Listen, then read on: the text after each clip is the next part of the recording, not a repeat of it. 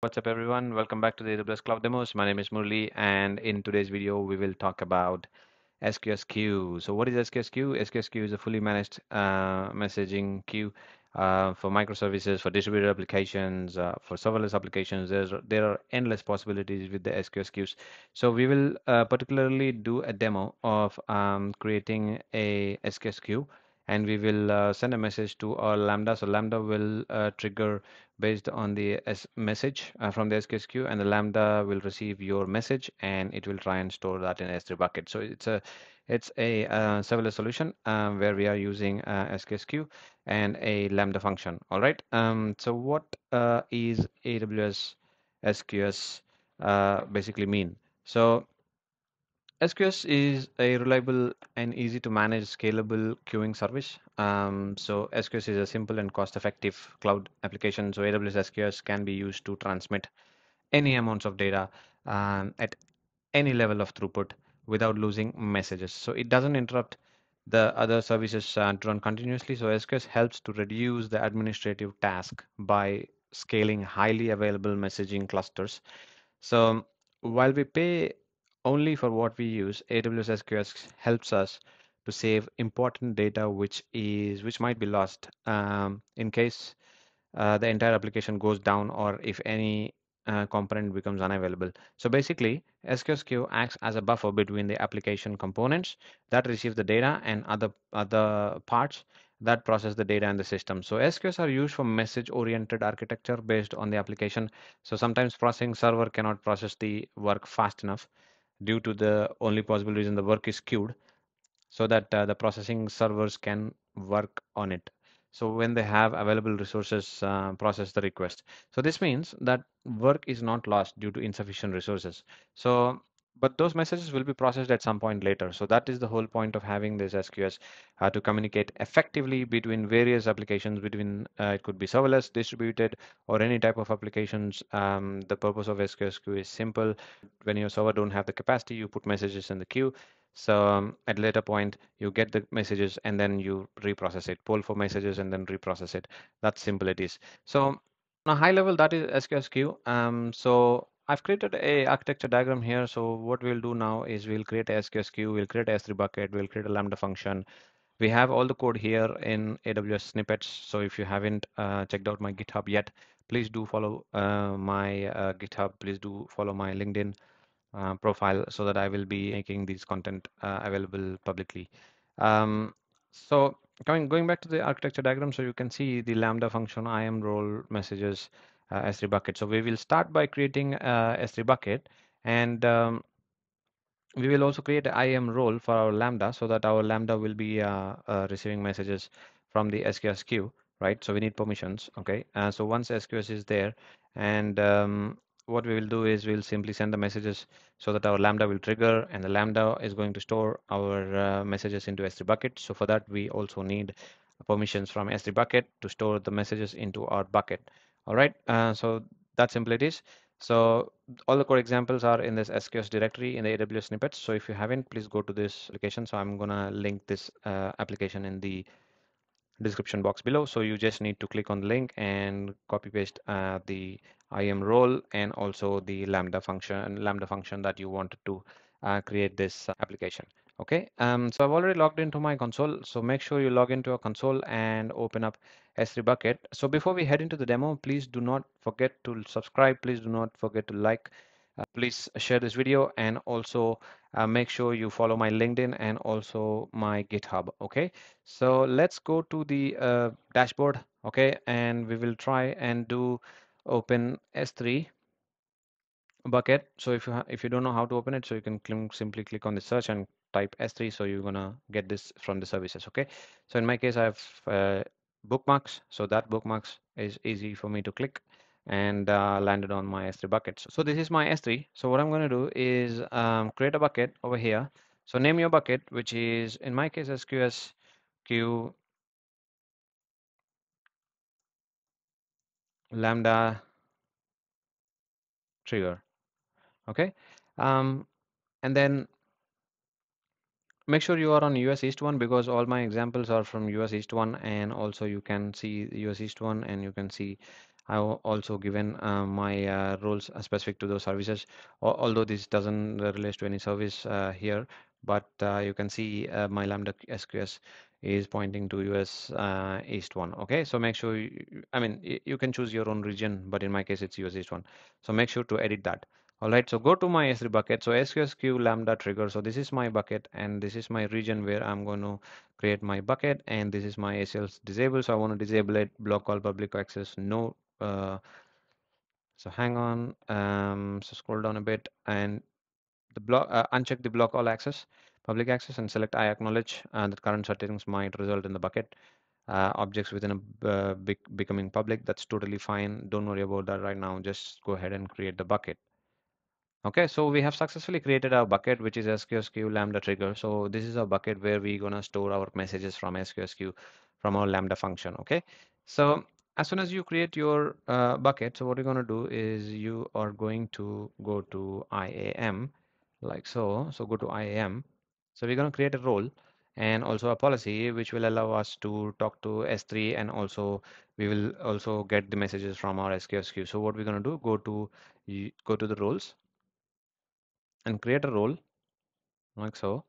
And now I'm going to choose lambda here AWS service lambda and click on next. So here um, so I want to give some custom um, policies. So what I'm going to do is click on this create policy link here. So go to that create policy. Okay? So you can choose the services that you want like for example S3 or maybe SQS queue it totally up to you. But now what I'm going to do a simple thing is go to click on JSON uh, which is easy for me to create and go ahead and copy the policy over here and simply paste it okay? So this is pretty straightforward. So I'll tell you what it is doing. It's basically we are accessing giving access to our uh, CloudWatch logs. We are actually uh, also allowing access to our S3 bucket which is put object and get object. So this should be good and go ahead and cl click on next and uh, you can see so we are giving full access S3 we are giving SQS full access we are giving access to CloudWatch logs we are also giving S3 object lambda. So these are the uh, permissions that we are going to give and choose your policy name. In my case it's uh, my SQS lambda trigger policy. Copy the name and it's totally up to you if you want to give description. In my case I'm just going to ignore it and go ahead and click on create policy. So that creates my policy over here. And go back to the previous tab where you have uh, where you can choose your policy and click refresh. You should be able to see our policy. So that's our policy. Select that and click on next so now I'm going to do my SQS Lambda trigger role. So this is our role, uh, which allows Lambda functions to call AWS services on your behalf. And that's our trusted entity. Um, and then scroll down all the way to the bottom and click on create role like so. So now that you have created a role um, and uh, which is pretty much done. Uh, so you don't need to do anything else. So what you're going to do is go to Lambda function. Let's create a Lambda function. Okay, go to Lambda. And now uh, click on create function. So let's name this function my Lambda SQS. Okay, it's totally up to you. Name is totally up to you. I'm going to choose Python 3.9 and I'm going to choose the to change default execution role. I'm going to use existing role, which is in my case, my SQS Lambda trigger role. Okay, simply select that um, and go ahead and create function. So, all right. So now that we have created the function, okay, so I'm going to simply uh, scroll down a bit, um, copy the Lambda function over here right it's a simple lambda function I'll explain you what it is doing so simply remove that and paste this so basically what this lambda function is doing is so we are trying to get the records uh, the SQS message so basically by using event object here and getting the records from it uh, from our SQS queue. Um, so as soon as you get the SQS uh, message, you're going to print it to your um, console. So I'm going to show you. And then this is my bucket. So what is the bucket name that we have given in our case? In our case, our bucket name is go back to our S3 bucket. Um, see SQSQ lambda trigger. So copy that name and go back to your lambda function. Simply update uh, your bucket name. Don't forget to update your bucket name. And um, this is my region. That's totally fine. And this is the file that I'm going to create, which is called SQS message.json. So this contains our SQS message. So I'm going to show you how it looks. And after you do S3 client.put object, S3 client is again from our Boto3 client, which is our Python framework, uh, Python um, third-party library, which will allow us to uh, use AWS resources like S3 client, you can see S3 client uh, will actually put this object, which is SQS message queue into our S3 bucket. Okay, so once it is done, if this line executes successfully, what we're going to do is simply print S3 upload uh, successful. So that means if you see this message, that means your um, SQS message JSON is created and uploaded to the S3 bucket. So, and then we will return uh, S3 upload success. If there is an any any error uh, in the process, so we simply throw an error uh, which is of uh, 5 500 error status okay um, it is very simple click on deploy so now that we have deployed our lambda function so what we're going to do now is we will be adding our trigger uh, so click on add trigger and here choose SQS and here there is no SQS queue yet because we need to create a SQS queue okay so let's go back to our uh, this tab and open up SQS. Let's go ahead and create a standard queue. Okay, so now you're in the SQS screen. Click on create queue, uh, standard queue, and this is my SQS queue. All right. So you don't need to change anything. Leave the default visibility timeout to 30 seconds, message retention to four days. Leave all these default options and server-side encryption enabled. So you don't need to do anything else. Leave the dead letter queue disabled. So let's scroll that above a bit and okay, that looks good and click on create queue. All right. So now you have created your SQS queue. So we will start sending and receive messages uh, once we um, add the trigger to our Lambda. Okay, so go back to the other tab. So we, we were trying to attach our SQS queue. Now click refresh so that uh, your queue will appear right here. So select the MySQS queue and you can see the ARN, which is uh, your identifier for your SQS queue.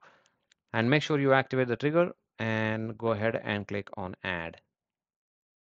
Okay, so now that we have added our SQS trigger to our Lambda function, which is great.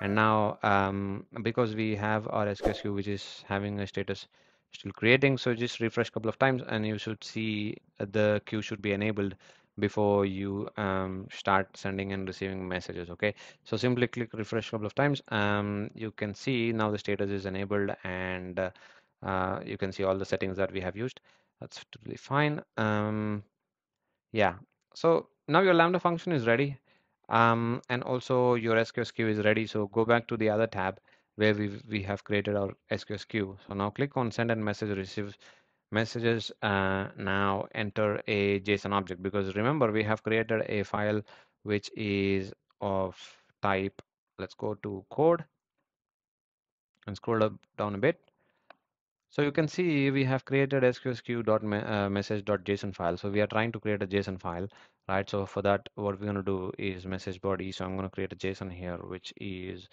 uh, for example, name. Um, it's acting weird. Uh, only, and then let's remove this brace here and which looks good. So this is my basic JSON, uh, which will be stored in my SQS message JSON file. Okay, so now as soon as you hit send message, okay, now the message has been sent. So our Lambda should be triggered. Okay, so how do I check my Lambda, whether my Lambda is triggered or not? So go to CloudWatch logs because you remember we have attached CloudWatch permission as well. So now go to CloudWatch, click on log groups in here you should be able to see your lambda function over here. So this is our lambda function remember? So click on that and click on this uh, log. So you can see all these messages right? So this is my message that SQS message and you can see the S3 upload successful.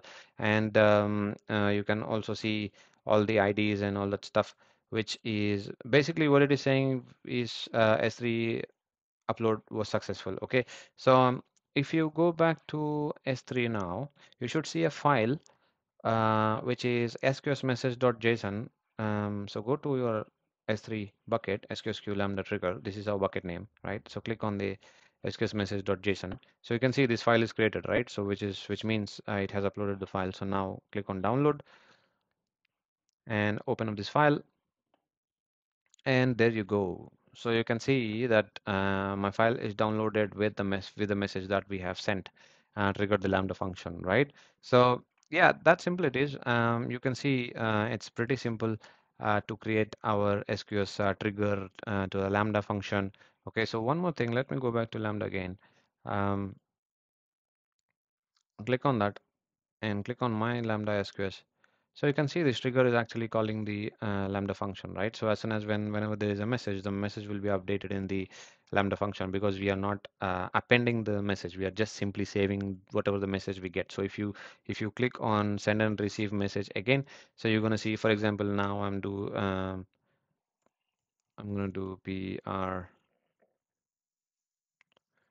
Okay, let's say is simply a P. Okay, now click on send message. So you have sent another message. That means your your S3 bucket should now have a latest message, right? So S3, go to S3, click on the bucket that you have just created and click on the SQS message. And now you can also open up in a new tab, copy the S3 and um, oh, sorry, one more second. And now click on this open link uh, that has downloaded. This is our second file so there you go. Our name is now updated. So we have our latest message in our SQS JSON file, right?